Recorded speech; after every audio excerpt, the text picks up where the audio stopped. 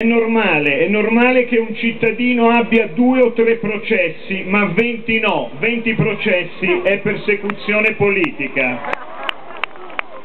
Io penso che non è normale, casomai è da pregiudicati, ma non da persone normali.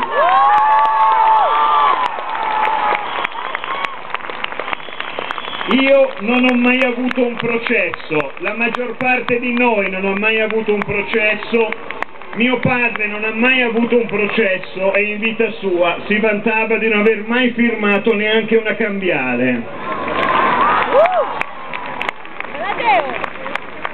Provo stupore, è il penultimo sentimento perché sono uomo ne ho pochi, di fronte a un Presidente del Consiglio che condivide qualcosa, non so che cos'è, un'amica, una fidanzata, una relazione, di sicuro una frequentazione con una signora che è fidanzata con un narcotrafficante da 12 kg di cocaina.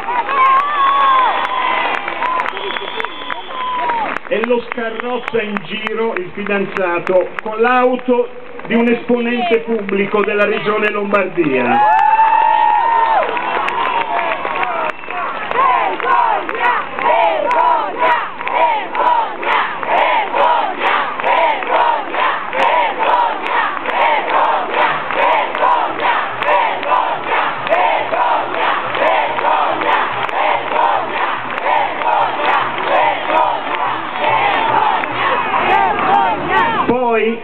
La fidanzata del narcotrafficante chiama la prefettura di Milano a nome del Presidente del Consiglio per chiedere favori.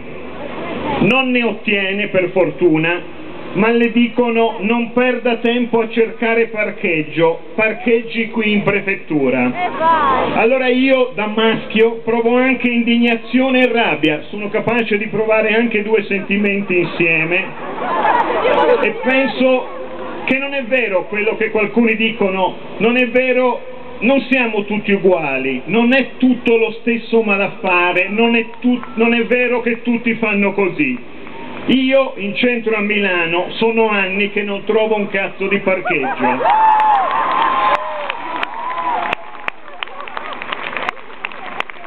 Aboliamo Miss Italia, grazie. Massimo Cirri!